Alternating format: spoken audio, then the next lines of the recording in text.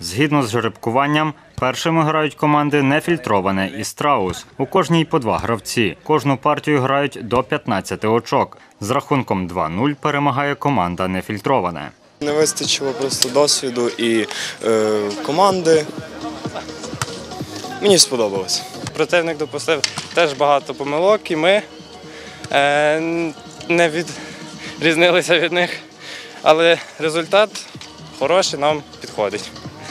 А це перша гра за вихід у півфінал. Грають команди Страус з командою дівчат Євроліга. За підсумками трьох партій рахунок 2-1 на користь команди Страус. Гравчиня команди Євроліга Каріна Сопотницька каже, займається волейболом три роки.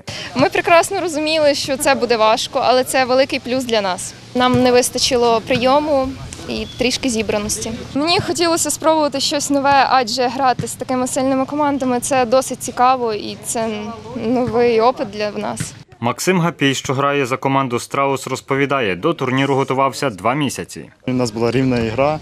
От просто не вдалося їм. І нам також не не вдавалося в другому матчі. Але ми виправили свої помилки і ми виграли. Головний суддя змагань Андрій Куницький розповів про правила змагань. Граємо по правилах пляжного волейболу, по пляжній сітці. Тобто команда, яка два рази програє, вона залишає змагання. От, граємо до двох виграних партій, до 15 очків.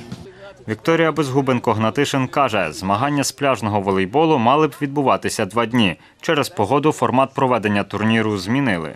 Ми намагаємося сьогодні вкластися і в фінальні ігри, і визначити трійку переможців. Команди два, е, два спортсмена можуть бути змішані команди. Для Тернополя це вперше, але ми хочемо це зробити традицією. І наступного року збільшити кількість видів пляжних ігор і збільшити тривалість. Тобто цілий тиждень зробити е, липень місяць, тиждень біч геймс на відпочинковій зоні циган. Тарас Бурак, Андрій Бодак, Оксана Галіяш. Новини на Суспільному. Тернопіль